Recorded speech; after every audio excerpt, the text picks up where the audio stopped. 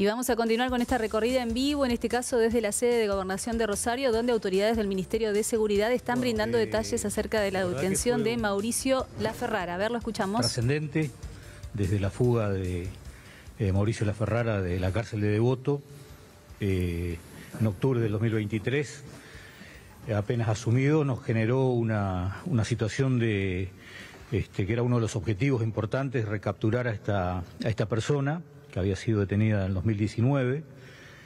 Eh, habida cuenta que constituye el, brazo armado de este, Alvarado en estas luchas con los monos, autor de varios homicidios, por lo que estaba lógicamente procesado y con cadena perpetua. Y la presencia de esta persona en el, territorio nos generaba realmente una preocupación. Eh, fíjense que se fuga este, la Ferrara y al poco tiempo tenemos la fuga frustrada de Alvarado, es decir, que uno puede inferir que eh, algo había planificado este, en ese sentido, que esta fuga frustrada vino a interrumpir, eh, pero que para nada este, menguaba el tema de la peligrosidad de la Ferrara este, en la zona de Rosario, que sabíamos que estaba acá. A partir de ahí se comienza a trabajar las herramientas legislativas como la ley de inteligencia, la creación de la este, subsecretaría de inteligencia criminal, eh, la reformulación de la PDI, el trabajo articulado con el MPA, el mejoramiento de esta este trabajo, también el mejoramiento y la articulación con eh, los organismos nacionales, agencias federales, las fuerzas federales, el Ministerio de Seguridad de, Nación. Bueno, nos llevó un trabajo este, detallado, eh, paciente, no por ello este, interrumpido para nada, constante. ¿Cuándo lo encuentran a la Ferrari cómo fue el operativo? En la localidad de Andino, en la localidad de Andino, que era un lugar donde este, ya estábamos, estaba referenciado como uno de los probables lugares este, donde podía encontrarse. A partir de ahí se viene trabajando hace un, un par de meses con seguimiento, con observación y lo que dio lugar a la presencia en ese momento de este, del personal de la Subsecretaría de, Inteligencia Criminal para poder este, abordarlo y proceder a la detención. Estaba indicado como jefe de sicarios. ¿En este tiempo que salió de la cárcel volvió a estar en actividad? No tenemos constancia, eh, por eso le digo que estábamos siguiendo sus pasos, el hecho de que estuviera oculto y tratando de no ser detectado, seguramente eh, de alguna manera impidió que pudiera tener algún, este, alguna presencia activa en algún hecho, pero que tarde o temprano lo iba a lograr. Y el tema las dos personas, las dos personas que estaban en la casa, ¿cuál es la situación que tienen hoy? Están a disposición también del, de la Fiscalía, de la Justicia Federal en este caso, que es la que interviene por el tema de, este, de la detención anterior y están involucrados en principio como encubridores. Vamos a ver cómo avanza la causa. algunos trascendidos indicaban que esta persona estaría a punto de generar un, atentado o que iba a tener por lo menos una eh, iba a operar en la zona eh, en los próximos días. ¿Ustedes estaban siguiendo esa línea investigativa? Sí, lógico, por eso le decía, a partir del 10 de diciembre a la tarde que se hace cargo el gobernador Puyaro y todo su equipo, comenzó a ser nuestro objetivo la, presencia de Mauricio Laferrara, habida cuenta de su, de su peligrosidad, tengan en cuenta que tiene más de seis homicidios, una participación activa en varios hechos resonantes y está latente, fue detenido en la gestión de, de Puyaro como ministro de, de Seguridad y personas que estaban de perpetua, como Alvarado en la cárcel, cuyo único objetivo, entendemos hoy, es, uno de sus objetivos, aparte de mantener sus negocios ilegales, es, la venganza, seguramente, sin duda. Comandante, en su momento el ministro Cocochón dijo que ustedes presumían que planeaba un crimen de alto impacto político. ¿Cuál era? Yo lo que estoy diciendo, eh, que tanto Alvarado como la Ferrara, supongo que aparte de mantener activos sus negocios ilegales, está el objetivo de la venganza y la venganza máxima acá es este, seguramente el, gobernador Puyaro. ¿Pero es una suposición o una investigación? no, no, no, es una suposición a partir de, todo lo que significa el, modo en que siempre se han manejado. Todos los homicidios de la Ferrara tienen que ver con venganza. ¿Pero usted plantea que podrían estar intentando matar al gobernador y al, al ministro? Es una posibilidad, es una posibilidad, ¿cómo no?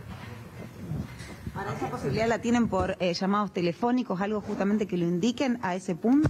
No, no, la, la, la, posibilidad es que estamos hablando de un individuo que ha sido un sicario este, bastante eficiente para lo que respecta a lo que él tenía que hacer y tuvo que hacer durante varios años. Eh, un hombre que era la mano derecha de, de Alvarado, eh, un hombre que ya estuvo detenido, que se fugó de una cárcel. Acá hay otro este, llamado de atención. Estaba en la cárcel de Devoto, que es una, no es una cárcel de alta seguridad. Eh, octubre del 2023, la fuga, dos, tres días dentro de un tacho de basura. Es decir, este, todo nos indicaba que una persona que, se fuga, el posterior intento de fuga de Alvarado, frustrado, una persona que se fuga con todo este tipo de características que le estoy dando, tratándose de quién era, y tiene que haberse fugado por algún objetivo muy importante. Bien, ahí estaba la palabra de Omar Pereira en la sede de gobernación en la ciudad de Rosario, dando datos realmente estremecedores sobre este peligroso sicario que fue capturado durante el fin de semana. Y seguimos trabajando en el lugar, Leo Farhat, muy buenos días. Repercusiones de estas graves denuncias que acaban de hacer los funcionarios del Ministerio de Seguridad. Hola, ¿cómo les va? Buenos días. Así es, bueno, conferencia de prensa aquí para dar más detalles de lo que ocurrió durante este fin de semana largo, este operativo, la detención de este hombre que tiene seis homicidios, dos cadenas perpetuas. Estamos con Esteban Santantino, eh, que, está, que está dando algunas declaraciones acerca de lo que ocurrió. Bien, Mauricio Jesús La Ferrara, desde octubre desde el año pasado, cuando se fugó de la cárcel de Devoto, tenemos que decir que era una de las personalidades vinculadas al crimen organizado en la ciudad de Rosario, en la provincia de Santa Fe, eh, de las más buscadas, eh, por la capacidad que ha demostrado en su momento para producir estos seis homicidios que se le han probado y que le han valido ya eh, una doble cadena perpetua y también los delitos asociados al narcotráfico. Eso por un lado. Y por otro lado también decir que la Ferrara eh, es el hombre de máxima confianza de Esteban Lindor Alvarado, este, uno de los máximos referentes, digamos, en materia de la eh, el enfrentamiento entre los grandes grupos criminales en la ciudad de Rosario y, y, eso es lo que hace de este hecho, de haber logrado con la tarea y con las actividades de inteligencia criminal dar con su paradero, encontrándose prófugo luego de, insisto, en octubre de 2023 haberse escapado de la cárcel de Devoto en el sistema penitenciario federal, eh, un hecho tan resonante. El comandante Omar Pereira, secretario de Seguridad, acaba de sugerir como hipótesis de trabajo que podía estar involucrado en un plan inclusive para asesinar al gobernador, ¿es así? Sí, eso es lo que, lo que nosotros podemos inferir en relación no solo a su historia, sino también a la capacidad, a la logística que han demostrado eh, para darse la fuga, para planear el intento frustrado de eh, Alvarado mismo, del Servicio Penitenciario Federal. Eh, y por supuesto también con la historia de este grupo criminal que lo vincula directamente con la gestión del actual gobernador Maximiliano, Maximiliano Puyaro cuando era ministro de Seguridad. El gobernador eh, dijo lo, los otros días que recibió 60 amenazas de muerte. La sociedad vivió momentos terribles en Rosario con respecto a esos homicidios de trabajadores de servicios públicos. ¿Creen que de ahí venía o han logrado detener a una de las personas de máxima responsabilidad en cuanto a eso? Sin dudas.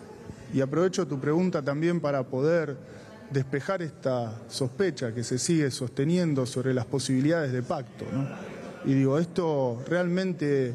De pacto entre dos bandas, las dos bandas más conocidas narcotraficantes. De pacto entre las bandas y las sospechas y los rumores sobre pacto siguen diciéndose al aire como si no tuviese ningún tipo de correlación con lo que sucede en la realidad. Y digo, esto es una demostración clara de que cuando hay decisión política, cuando hay capacidad de gestión, cuando se usa la información y el conocimiento que se produce a través de, por ejemplo, el área de la Subsecretaría de Inteligencia Criminal, podemos seguir avanzando en esta confrontación con las mafias directa, frontal y sin atenuantes. Santantino, ustedes dijeron que cayó por un error. ¿Qué error cometió la Ferrara?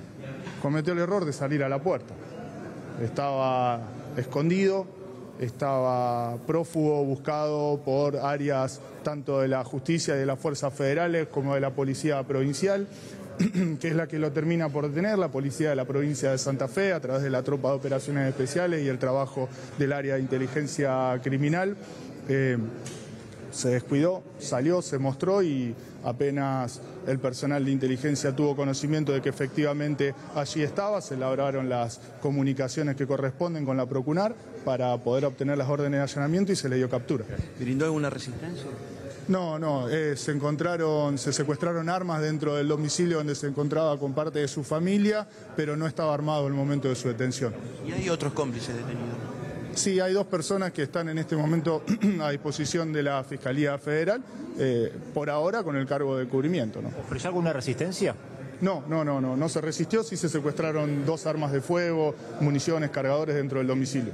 Al ser una persona de, alta, de alto riesgo, de alta peligrosidad, de alto perfil, eh, ¿qué medidas se toman a partir de ahora? Bueno, entendemos que ahora el Servicio Penitenciario Federal, la Justicia Federal, va a redoblar los esfuerzos para eh, evitar, por supuesto, una nueva fuga de, de, este personaje tan caro para la historia también de la provincia de Santa Fe. Digo. No es solo un criminal que, se, que logra fugarse de una cárcel en Buenos Aires, sino que tiene mucho que ver con la historia de la provincia de Santa Fe, de la ciudad de Rosario en particular. Escuchaba al ministro Cocochoni hablando de, o poniéndole el, el apodo eh, de caníbal, o sea, eso demuestra la peligrosidad que tenía este hombre. ¿no? Es un muchacho joven, de 28 años, y sin embargo tiene una doble cadena perpetua en la justicia federal, tiene probados delitos eh, de distinta índole eh, y también tenemos conocimiento de que bueno, había logrado cierto liderazgo en el mundo criminal, sobre todo lo que hace a la actividad de los sicarios.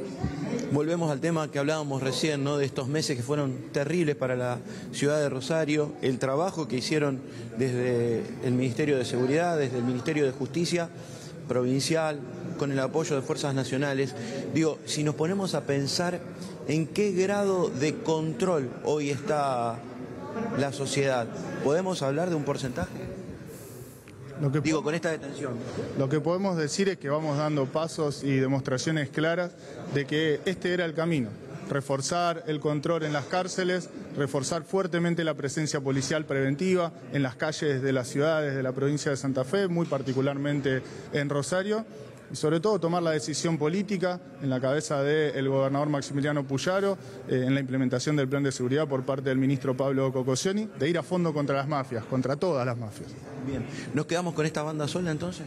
Digo, no hay complicidad con otras, no se pusieron de acuerdo para perpetrar estos ataques terroristas. Eso lo tendrá que dilucidar la justicia hasta qué nivel el diálogo entre las bandas puede ser para ir en contra de este gobierno que ha tomado la decisión, insisto, de ir a fondo contra, contra todas las mafias. Para nosotros la barrera que divide es ellos, el mundo de la criminalidad organizada, y nosotros como representantes del Estado, no solo de un gobierno, no una fuerza política, del Estado, de la legalidad, del Estado de Derecho y de lograr el objetivo último que tenemos, que es que todos los santafesinos podamos vivir en paz. Gracias, Esteban. No, gracias a ustedes. Muy amable. Bueno, fuera de conferencia de prensa, entonces lográbamos hablar con eh, Esteban Santantino, que nos daba estos detalles este, tremendos, ¿no? De ponernos a pensar. Yo escuchaba al gobernador, por eso era la pregunta, ¿no? Recibió 60 amenazas de muerte y por lo que dan a entender aquí, todos provenían de un mismo lugar, ¿no?